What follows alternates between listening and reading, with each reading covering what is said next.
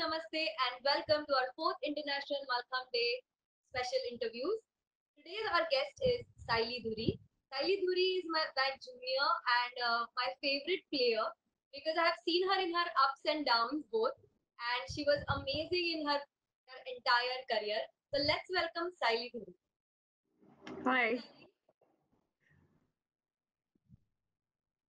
How did you start your Mallakhamb career and at what age and who was your guru? So I started about when I was uh, seven years old, and I started with uh, Veena Tai uh, at that time, and then followed by Shashi Surve. And uh, at what age? How how old were you and where did you start learning? How did it all start? so basically, I started my uh, my Mallakhamb career in Mulund Gymkhana at the age of seven. Uh, at that time, there was a rule in Gymkhana that you could only learn the basics of all the games, and then the coaches would select and decide which game is more suited for you. And that's how Veena got me into Mallakhamb. So Sayali, I have seen your performance since you were a kid. We were we were at the, I think at the above age 16. I think Yeah. last couple of years we were competing together. Yes. But uh, uh, how how did your Mallakhamb career go? So uh, it, it started with a like it was a bumpy road initially. I still remember. Uh, Shreyasi, Mitali, we were all started. Shreyasi was a little bit senior, but me, Mitali, Siddhi, we started with about the same time. And I still remember that uh, Mitali was able to get to the nationals. Siddhi was able to go to the nationals, but I was the one who could not be selected to even state level for first maybe three years or so. It was pretty heartbreaking, but my mom and my parents really helped me through that and they kept me motivated that it's okay you can just keep trying and since i think about at the fourth year of under 12 and since then next six years i was i was i continuously got selected for nationals and that was something which was amazing I think I have seen that phase in you. I used to watch you before uh, you getting selected, and uh, I was like, oh wow, I have seen the drastic change in this girl's performance, and uh, like there was like a, always a fall in your performance, and then suddenly there was like a great level of confidence and uh, how did it all change? Like, I actually- what kind of practice did you do? I, I frankly don't remember exactly what happened at the under 12 age part of it, but I do remember just every day keeping my head down and practicing and practicing to the point that I remember Shashitai would shout at me, like, enough, don't do it anymore. Like, I would do maybe 15 to 20 dismounts every day just to make sure that I would land at the end and not make and not do any falls or or some mishaps so that I think went a long way in that initial phase. I've worked really hard. I don't know how I was that sincere at that level, but I really was, and uh, it it that's what that's what went a long way. When you talk about the confidence part of it, I don't think so. I was as confident as it might have shown, but I tried my best. And once I got to a level that okay, I I got selected to states, I got that gold medal. I got selected to nationals, I got that medal. Once that happened like couple of times, then I started getting the confidence. No, I, I think I can do this. It's okay. I don't need to be scared, and I can perform. I think dedication and sincerity always pays off. And uh, maybe you were not being so confident, but it was it was always shown that it, it from your performance. Mhm. It was so much Uh, fun though. Sayali, your uh, you had an injury, and that was like a crucial year of your career. Uh, Mhm. How did you cope with it? So I remember I had my ACL. I think I it was when there was a school's championship in uh, Samarth Vyayam Mandir actually. I got a actually the injury started with when I landed. I I hyperextended my knee, and then I had the states was like a within five days, and I thought my knee would get better, but you know being a player and it's like oh if i don't work out then i can't play. I can't perform well. And i tried to practice like a day before and i tore my acl on that day. I couldn't even walk for like two days or so and then i had to get operated. And that was the last year of my under 16 like just at the, as you said that it's a very important year to go to above 16 but uh, my surgeon dr anant joshi my physiotherapist dr rupali all those people motivated me to keep going. And my coach of course shashi surve they're like you can do this. That it's okay. It's it's a healing phase. You need to give your knee that time or give your that particular body part that much time. And that's how i actually got into physical therapy too that it it works. It if you work hard if you know if you follow the protocols you can go back. And i felt that healing part of it and that uh, preparation. Actually when i came back i was much stronger than what i was before. Yeah i think uh, healing uh, after injury if you get a surgery after that physiotherapy exercise and healing are very important. If you focus on them and if you work on them properly then you can your knee can get 100% better than what it was like stronger than what i agree don't think i should say this. I think you should go more in detail about this and tell us like because i i feel i have seen a lot of players who gave up their career after one injury. Uh, and i don't think it's physically they give up it's mainly mentally uh, because they don't think that they can do it anymore. Their bodies are ready and they can get, get better but mentally they give up. So how did you train uh, your mind and what did what did you do mental training for this? Quite frankly even i was at the point when i got i still remember when i got the mri report and i didn't know nothing about anatomy at that time. And i only thing i read was something tear and that's it. I started like crying is like this is end of my career. I can't go back to mallakhamb i don't know how to do and that's what the same response i got from one of the surgeons too that okay you, you're gonna not go back to game. Like you can't play again. Then i went to dr anant joshi who's this amazing surgeon and he's like why are you crying? Like there's nothing to worry about. We'll fix it. You work out and you can go back. Those just two sentences that he had been confidence in me that okay you can do it. Then i started researching more about it. My parents started researching about it that how can you get back and what are the people what are the things as a player you can do about it? And as a coach shashitai helped me too that i still remember i did mental workouts as uh, visualization. So the time where i would prepare for usual workout sessions like from 6.30 to 8.30 i would just sit at home close my eyes and go through the whole workout like okay now i'm doing running you do the workout you do warm-ups everything from the start to end, including stretching. That every day I did, and that's something which went a very long way. I was scared. I was scared when I went back to sports. It, I, there is no way to get over it unless you actually go back to it. You can't just sit and say, okay, I'm not scared anymore. But when you try it, when you work for it, it's so worth it. I think visualization works wonders and I have, uh, I think, uh, I have seen Amitabh Bachchan's interview in which he has said, "It's not over yet till you say it's over." Exactly. That's the mental power. True. True. Uh, and now, like Anant Joshi treated you, and then mm-hmm. you were working with him as a physiotherapist, as a sports physiotherapist. How did how did that work? How was it?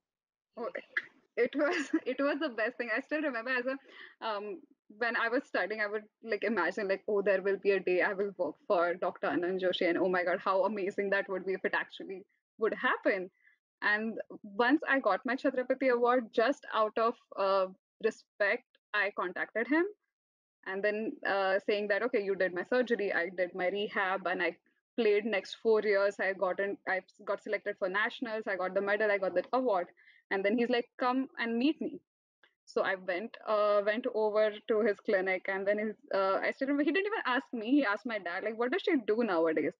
So my dad said she just finished her physiotherapy. She's just like she's just moved back to Mumbai from Pune. And he's like, uh, oh, that's interesting. Like, he asked her to come work for me from Monday, and that's literally that's how I started working for uh, Dr. Joshi. And he like starting was like like an internship, and I thought, okay, he's gonna just see or maybe help me out.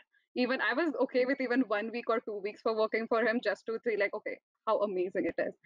And on the third week, uh, Dr. Joshi's wife walks up to me and like, here's your uh, letter of um, that you started working for us two weeks back and it was such an amazing point that they liked my work and not only that i was his patient i got the award but the fact that as a professional as a physiotherapist they liked my work so that was amazing it was a pleasant surprise it was it was like absolute dream come true like even getting a chhatrapati award you like as a kid you always dream about it this is what i want to achieve then like this is the person i want to work for and then both the things i was just so amazing.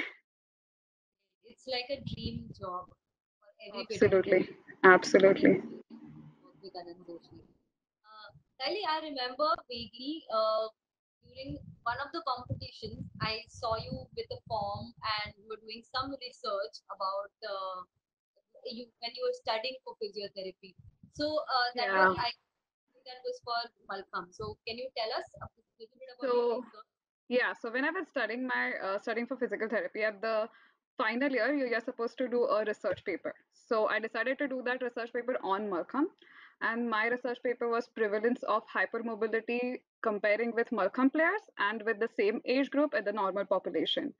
So what I found in my uh, research paper was yes, we are way more flexible compared to the normal population the whole point of starting this research was followed by how the injuries are coinciding with this hypermobility and eventually finding a solution for it. I didn't get to the next later two parts, but I finished the first part. I hope I will eventually end up doing those two as well. Uh, yes, but that is very true uh, to talk about that. How do we prevent all that? How do we re- rehabilitation is one thing, but how do we just not come to the point that we have an injury for players. Uh, that is something which is very important, I think.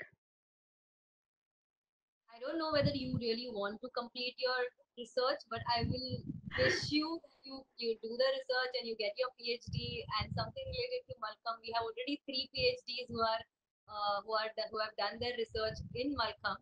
So I'll be very happy if you will be the fourth one to do that. Thank you. I hope so too. uh, Sayali, now you're working in US, California, uh, in sports physio- physiology department. Mm-hmm. Uh, how that how like you worked in India, you worked in US. What is the difference, and uh, what you can uh, tell us about it? So uh, the main difference I would say is the structure and the model of it. In India, there's not much awareness about physical therapy like even me going and deciding doing a physical therapy i didn't know much about it until i actually got treatment so that is something which is a huge difference. A lot of times i still remember when i worked in uh, india the struggle was to explain first like what is that i'm doing? Why do they need to do the exercise and how does it actually help them? The belief in exercise is not as strong as it needs to be.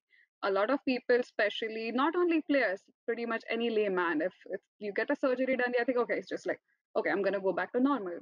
But it doesn't work like that. No matter what surgery you have, your muscles go through the deterioration, you get atrophies, you need to get stronger. Then the main pain reason gets fixed. You can't just get up and walk around and say, okay, everything's fine. It unfortunately doesn't how it does it, it doesn't work like that. When it compares to US, it, it's a standard practice. It's like no matter if you get which surgery, you do a prehab before going in the surgery and you do a rehab after surgery because being strong before helps to do a rehab later. Going back to a stronger self is easier than going from zero strength before and then building it later on. So that is a big thing. Uh, other thing is the way the documentation goes is like amazing over here, which is not the same thing in India for example if you go from one physio to other or maybe from one doctor to the other if you don't have those couple of uh, lines written with you the other guy or the second person doesn't know anything about your history. Whereas over here no matter if i get a reference or if the person comes up to me there's an evaluation for physical therapy. I go through every aspect of their history like which has effect which can be affected to their current reason of, of pain. And i think that helps overall improvement. And more of um, not being dependent on physical therapy at long term so that we educate the patient. How if this comes up again this is how we fix it and things like that this is not related to but I feel uh, you have worked in India and you moved to US later on. Uh, how was that procedure? Because a lot of our uh, players might be doing physiotherapy, and it will be great if they can also go abroad and study and learn and start working. So, if they want to do it, can you guide them through uh, what are the steps? Definitely. Uh, so the studying abroad would change from country to country. Uh, a lot of times, the first thing you need to find out is what do you want to study.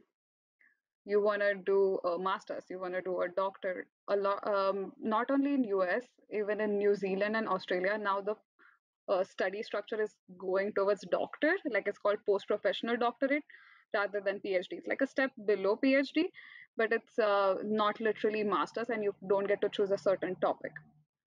But it helps to know what you want to study further. Uh, with US, you need to do there's something called as credential uh, credentializing your all education. Uh, you have WES, you have um, I don't remember another um, sites to do that. So basically, you send your all your documents and whatever you studied to them, and then they evaluate, and those get sent to your whatever university you want to study at. So it's their way of uh, comparing your Indian education to American level education. So whatever is lacking, you need to give those exams once you come to US. So when I came here, I had to give about 15 ex- more exams to be eligible to give the uh, license exam in US. So depending on your university, depending on your course structure, depending on how your um, internship went, how many hours did you work for internship, how was your work experience, everything counts. All of this will get processed through that uh, centralized system like WES, and then your uh, particular college would decide if you are okay with it or not. They also need TOEFL, depending again on university. Uh, but other than that, that should cover it. Yeah, these two things are ve- very important. Yeah, it's a long process, and It is. Whoever wants to do it can contact Sayali, and I'm sure Yes, she will help you out definitely. Sayali, uh, now as you said that in Mhm. India, physiotherapy is not that uh, sports physiotherapy is not as uh, good as it is in the US. Not very bad, but it's not reached up to that level. Mhm. So, uh, what precautions as a coach we should take so that we don't need to go to the physiotherapy? So, as a coach, I would say you know your kids or players better. So, you know, okay, this particular person is more flexible compared to this particular person, or this person, even when she's running, she twists her ankle more often than in compared to the other one. So, as a coach, you would be able to know this one's more likely to get a knee injury or this one's more likely to get ankle injury. One of the things which I've mm, um, understood after studying and after coming here, we miss out on important muscle groups and getting isolated strengthening for them. For example, if you if one person is um, shoulders not that stable. So one thing we need to focus on is rotator cuff. It, it is not something which is usually known in India as much as it should be, even especially as a player. So rotator cuff is basically the muscle which moves your shoulder outwards, rotating out. That is one of the more um, stabilizing part of it, and it needs to be stronger. Those sort of things would go a long way as a coach. Um, that comes to part of the flexibility uh, for a few uh, even for uh, as a coach you would know okay this person is doing recap this person is doing this turn landing or 180 landing or 360 landing so if landing part is at risk then you can focus on that particular muscle and strengthen it accordingly I feel in Mallakhamb we have major injuries of knee, ankle, shoulders, and lower back. So, any particular exercises which you can suggest, or you can, uh, you know, tell us something about what we can do about it? So for shoulders, I talked about the rotator cuff is something we need to consider. Also, I would say upper back is usually n- uh, neglected, which needs to be focused, like rowing, uh, your uh, your lat pull downs. All those are very important. Those need to be focused when it comes to the shoulder. When you come to the back, uh, plank is not as focused as it needs to be. So for girls, we can do plank with lower extremity movements. For boys, it can be more challenging, like uh, when you do plank on a steady surface, it's pretty easy, but people, boys need to do tangta. So it's like a moving object. You can do it on a Bosu ball, you can do a Swiss ball. That makes it more challenging and more prepared to do tangta. Uh, for if you say about knee, if a particular, uh, especially in girls, I've seen a lot of girls have hyperextension knees. It's not that they are trying to get that hyperextension, the naturally they get the hyperextension in the knee whenever they try to straighten the knee. Hamstring is something needs to be focused on though, because that will prevent that hyperextension and keep give that knee more stability. Uh, with people with back, with back, I would suggest not only plank but also hip abductors, outer muscles. So kicking out once, those clamps, all those exercises are very important. With ankle, uh, we tend to do a lot of heel raises so basically calf muscles and the, the muscles which pull the ankle up, the side ones are not that focused. So you need in and out as well, especially the out one because your ankle, it twists, it twists inwards more often than out.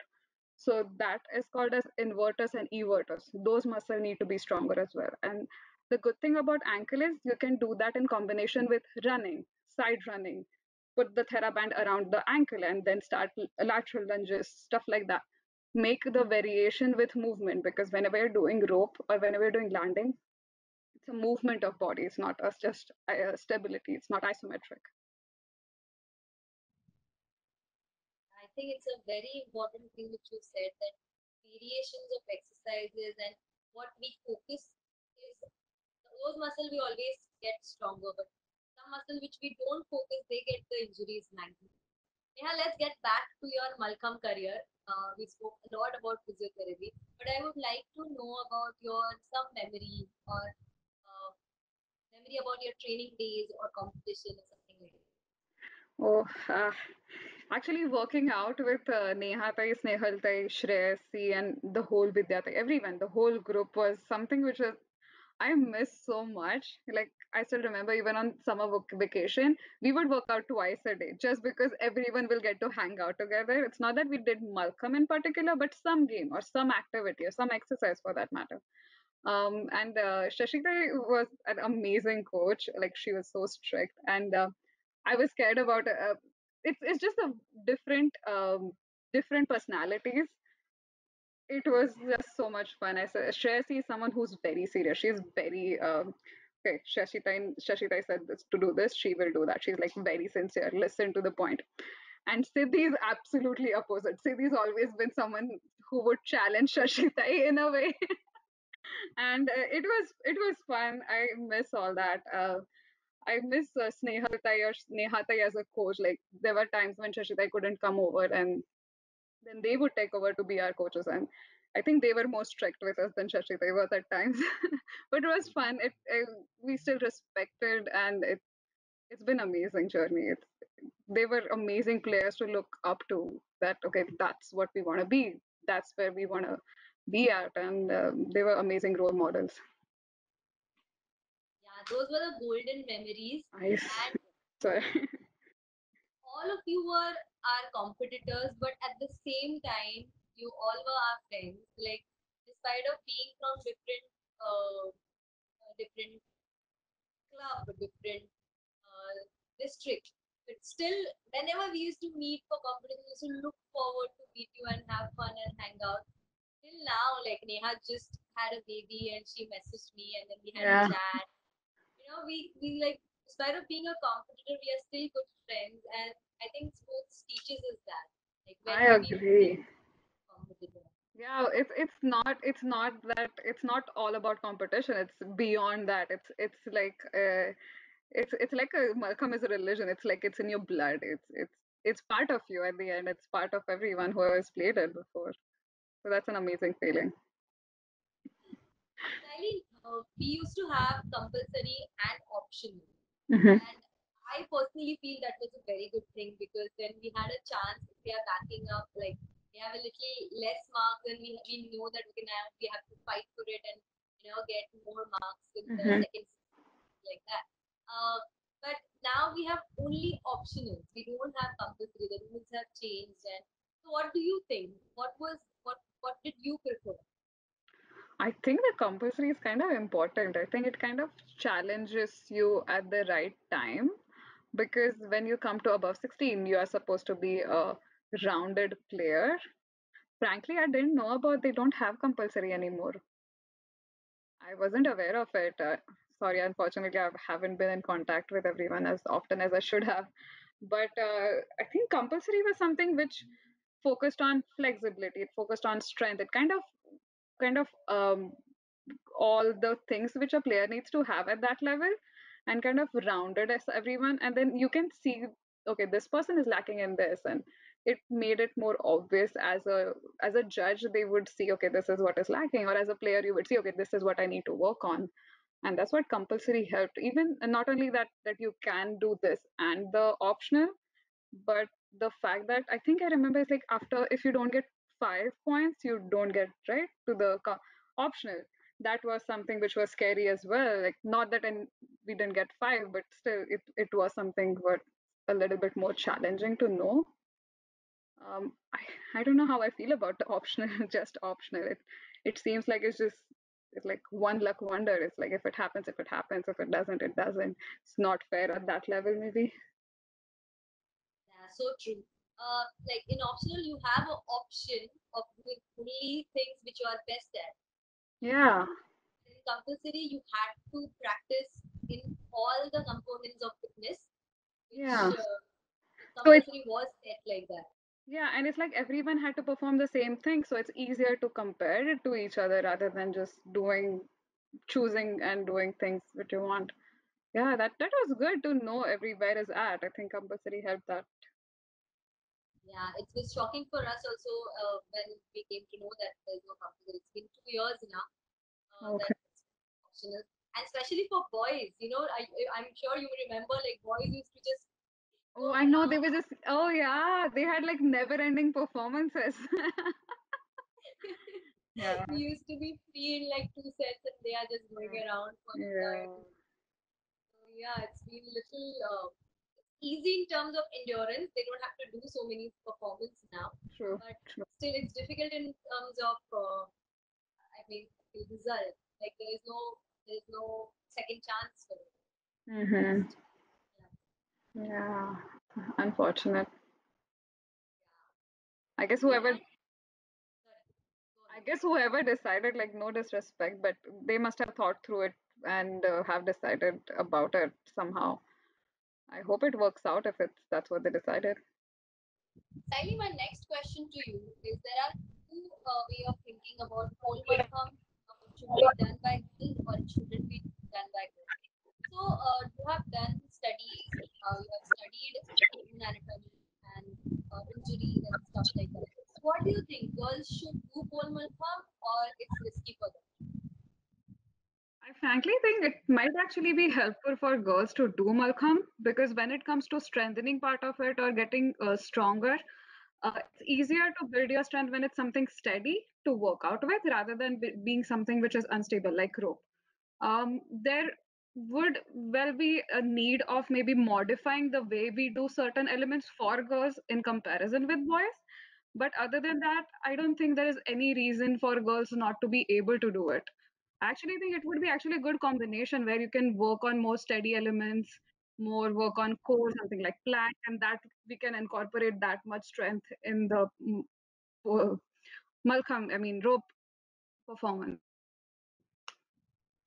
Yes, I agree with you, Sayali, because when I started doing pole my rope performance definitely improved. I could feel more stronger. I can do a lot of elements which I was not able to do on the rope before, pole helped me to do. So, but is there any uh, high level of injury risk? Because girls are more flexible in comparison uh, boys. Mm-hmm. And, uh, boys are more stronger. Like generally, this comparison is done. It's not physically it's not uh, divided like that actually, but general the discussion or the general uh, thing is like that, that girls are more flexible, boys are more stronger. And mm-hmm. do you think because of that this division has happened? I, don't really think girls are uh, not stronger than boys. It's a comparative term. As a girls, you're gonna need enough strength so that you can withstand your own weight. as boys you're to need your own strength so you can manage your own body weight because bo- body weight of boys is higher than girls they're to have more strength it's a comparative again same thing when you're doing a L stand climb or you're doing or you're doing one one um, handstand you need to hold up your own body you're not going to hold up someone else as long as you're strong enough to perform that particular element with your own body weight you're strong enough if, even if it comes to Mallakhamb or it comes to rope Mallakhamb. It's a it's up to you how strong you can get. Again, with strength, you need a movement strength, which is called as move muscle movement, and there is an isometric strength where you can hold a position. So as long as a girl works with both the elements when it comes to uh, Mallakhamb or Mallakhamb, they should be good performing either. Yes, so it will always be beneficial for girls to do Mallakhamb. So I encourage all the girls to start practicing. And if we want to uh, keep our mark in championship next World Championship, it's very important for us to practice. Yes. Next question to you is, Sayali, uh, there is always, I have always heard this, that Mohanam gives exercise to the full body. From your toes to your and every muscle gets exercise. Then why do we need to do uh, different conditioning exercises? Or why do we need to go to gym work on the, uh, work on it is very true that Mallakhamb works on every single muscle of the body. Having said that, how can reason out why you need conditioning beyond just doing the Mallakhamb. First is every body is different, every performer, every player is different. If you if that particular player wants to add a new element to the uh, performance, like handstand climb or maybe a certain hold, they need to get stronger on the basis so that they can perform that particular element on the rope as when they're doing that is one of the reason you can get stronger on steady elements. You build up the strength. You can't just jump into it.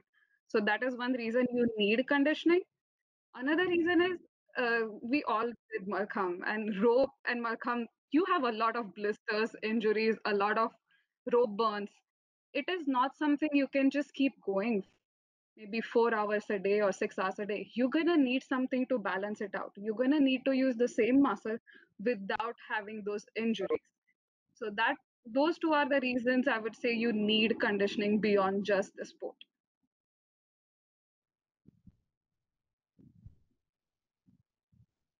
Thank you so much, Saili, for your uh. I, I, I always tell uh, students to do road conditioning, alternate just wanted to know the reason behind it. Whatever I was learning from my teachers, we pass it on to the next generation. But if you know the proper reasoning behind it, it always helps. I'm sure. I hope it works. Sayali, uh, last year we had World Championship and we had people all around the world, and it was a great competition. Unfortunately, you were not here, but uh, do you wish to participate again and uh, play for India and uh, like come back into the game? I, I wish to come back to game. I don't know if I want to come back as a player because I would not be good at representing India at this point. I'm sure there are so many better players, but uh, yeah, I do in somewhere in future that I hope I get to coach. I as close as Mallakhamb as I can get. Possibly, if nothing that, uh, as we discussed before, like if any player, anyone has any issues, anyone wants to work on any elements, contact me. I will respond to you as soon as possible. There are a few people who contacted me after last uh, time we spoke with uh, uh, and it. I will try and help as much as I can from from here. that will be really great, Saili. And also we have US Mallakhamb Federation. So I think you should really start something in collaboration with them. You can start coaching in California you know something or the other you can definitely do uh-huh. and your players can be part of the world championship next year. Yes yes yes i did contact him a couple of times. It was on my side. I i did go to new york but i didn't end up going to see the mallakhamb federation. Yes i will work on it. Thank you so much, Saili. Like I have literally seen you as a kid and as a champion, and now as a professional into a sports field, and it feels really great to see you reaching such heights. Thank you so much for giving you us time and your valuable words. Thank you so much. Thank you so much, Aditi.